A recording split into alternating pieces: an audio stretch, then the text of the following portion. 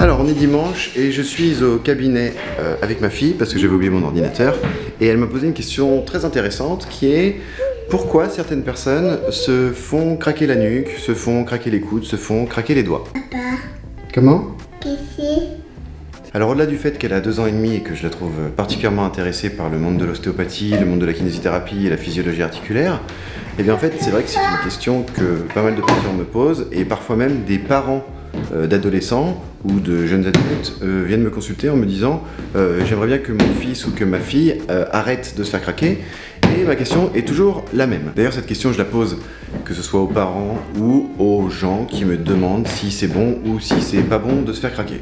Alors, j'ai déjà fait 2-3 vidéos sur ce sujet, mais la question aujourd'hui, c'est de se faire craquer soi-même. Est-ce que c'est bon? Est-ce que c'est pas bon? Euh, Dans un premier temps, je voudrais répondre à la question pourquoi euh, les gens qui se font craquer se font craquer eux-mêmes. Alors j'ai deux suppositions à ce sujet. La première chose, c'est que j'aurais tendance à dire que comme la spécificité n'est pas complètement avérée et que l'effet principal, ça va être essentiellement une diminution de la douleur, euh, ou en tout cas une détente sur le moment, bref, un effet euh, physiologique qui aurait tendance à euh, moduler la douleur, on va dire ça comme ça, eh bien c'est ma première hypothèse. La première hypothèse c'est que ça fait du bien. Et tout ce qui fait du bien, eh bien les gens ont tendance évidemment à le faire. Ensuite, la deuxième raison qui pourrait amener les gens à se faire craquer eux-mêmes, eh bien un peu, on va dire que c'est un peu comme si c'était un toc ou un tic qui, bah, par ses effets euh, de détente ou de soulagement, ou alors simplement de croyance que ça euh, soigne, que ça fait du bien, eh euh, réveille le circuit de la récompense et aurait tendance à devenir comme une habitude, comme un toc, comme les gens qui mangent la peau à l'intérieur ou se rongent les ongles, ou enfin des trucs comme ça qui sont un petit peu inexpliqués d'un point de vue purement physiologique, c'est-à-dire un truc qui entraîne un effet physiologique propre c'est ça qu'on appelle un effet spécifique. Alors j'ai énormément cherché dans la littérature depuis quelques jours et euh, je n'ai trouvé que deux articles qui parlent de ça, qui parlent de, des effets ou des choses qu'il faut faire ou des choses qu'il ne faut pas faire concernant les automanipulations.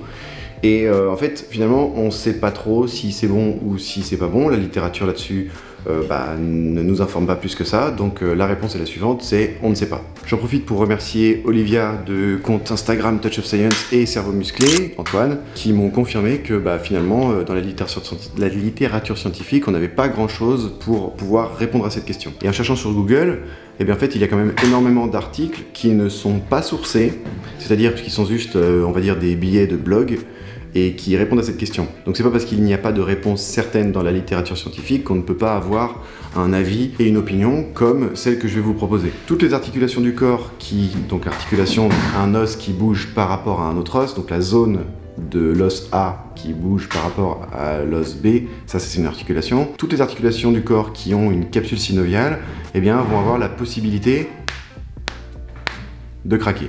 Mais c'est pas parce que il y a un crack que c'est utile, c'est pas parce qu'il y a un crack que c'est efficace, et ce n'est pas parce qu'il y a un crack que c'est mauvais. Et on va dire que, unanimement, toutes les articulations du corps qui ont une capsule synoviale et qui font ce bruit-là, même il y a d'autres articulations qui peuvent craquer et qui n'ont pas de cap- capsule synoviale, mais c'est pas forcément le sujet, eh bien, toutes les articulations du corps, on va les séparer entre toutes les articulations du corps et les deux premières articulations cervicales. Toutes les articulations du corps autres que les articulations cervicales, eh bien, vous pouvez les faire craquer autant que vous voulez, vous risquez que dalle. Est-ce que c'est efficace Est-ce que c'est pas efficace? La réponse, je vous l'ai dit, on l'a pas. Donc, bah, allez-y, hein, faites-vous plaisir, du moment que ça gêne personne et que vous risquez pas grand-chose, ce qui est le cas donc pour ces articulations-là. Et pour ce qui concerne les deux premières articulations cervicales, eh bien, comme on dit prudence et mère de sûreté, il peut y avoir des drapeaux rouges, des contre-indications qui méritent une consultation, qui méritent de savoir si vous n'êtes pas à risque de déclencher un effet secondaire, donc artériel essentiellement. Et dans ce cas-là, eh ben, moi j'aurais tendance à suggérer qu'il vaut mieux s'abstenir. Et encore une fois, ce conseil n'est qu'un conseil de prudence. C'est juste une anticipation de choses qui pourraient arriver. Ça ne veut pas dire que ça va arriver. Ça veut dire que bah, il vaut mieux mettre sa ceinture quand on va conduire. Euh, ça ne veut pas dire qu'on a prévu d'avoir un accident. Ça veut dire que si on a un accident, bah, ça sera toujours mieux d'avoir une ceinture. Je sais pas si cette analogie elle est bonne, je sais pas si cette comparaison est bonne, mais c'est celle qui m'est venue en premier. Parallèlement, moi j'ai une question que je pose souvent à mes patients qui est euh, qu'est-ce qui vous amène à avoir ce tic? Quels sont les facteurs qui euh, vous influencent selon vous à avoir cette habitude de vous faire craquer vous-même? Et là, ce n'est que mon opinion, hein, ça vaut ce que ça vaut, mais je me dis que si la zone a besoin tout le temps d'être soulagée, si la zone a tout le temps cette tension musculaire qui fait qu'on a envie de la soulager, eh bien ça mérite de se poser la question qui est euh, qu'est-ce qui euh, amène la zone à avoir de la tension? Est-ce que c'est l'anxiété? Est-ce que c'est euh, la mauvaise utilisation? En tout cas une utilisation qui mériterait d'être meilleure, donc avec plus de force, avec plus d'endurance, avec plus de mobilité etc., etc. Donc moi ce que je peux vous suggérer c'est d'essayer d'identifier les facteurs qui auraient tendance à mettre de la tension ou qui auraient tendance à créer, euh, des sensations désagréables qui nécessiteraient de manipuler pour les soulager. J'espère que cette vidéo dans un format un petit peu plus original vous aura plu. Euh, je vous souhaite un bon dimanche parce qu'on est dimanche, euh, que je suis venu au cabinet avec ma fille pour récupérer mon ordinateur et que elle a été très sage et ça c'est un bonheur. N'hésitez pas à liker, n'hésitez pas à partager cette vidéo. On se retrouve sur Facebook, sur Instagram et ici sur YouTube. Et en attendant la prochaine vidéo, eh bien, prenez bien soin de vous. Bravo.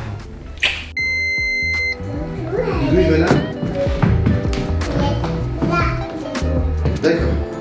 Alors toi, tu dois faire ça,